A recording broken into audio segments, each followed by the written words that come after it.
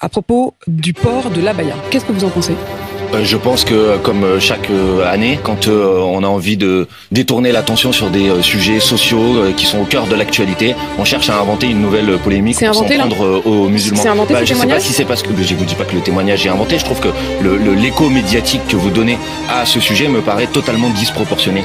Euh, je sais pas si vous n'avez pas trouvé de piscine cette année ou de plage pour parler du burkini, donc vous avez trouvé les, les, les, les abayas. Et je pense que les musulmans de ce pays, ils en ont marre de servir de chair à canon médiatique. Vous voyez? Comment vous allez déterminer qu'un vêtement ample, parce que c'est une abaya, c'est un vêtement très ample, euh, est un vêtement religieux, vous allez le déterminer par des critères. Comment vous allez faire Je crois pas que être dans le sens de l'émancipation, c'est déterminer à la place d'une personne quelle doit être exactement la tenue qu'elle porte. Et je dis attention à cette logique. On va pas faire la police du vêtement. On va pas faire l'Iran à l'envers, décider ça c'est une tenue acceptable, ça c'est une tenue qui ne l'est pas. Donc je ne dis pas qu'il ne peut pas y avoir des difficultés. Je pense que quand elles arrivent, vous devez les régler par la discussion. Vous voulez qu'on parle des difficultés à l'école? Parlons des difficultés ah non, non. Vous à l'école.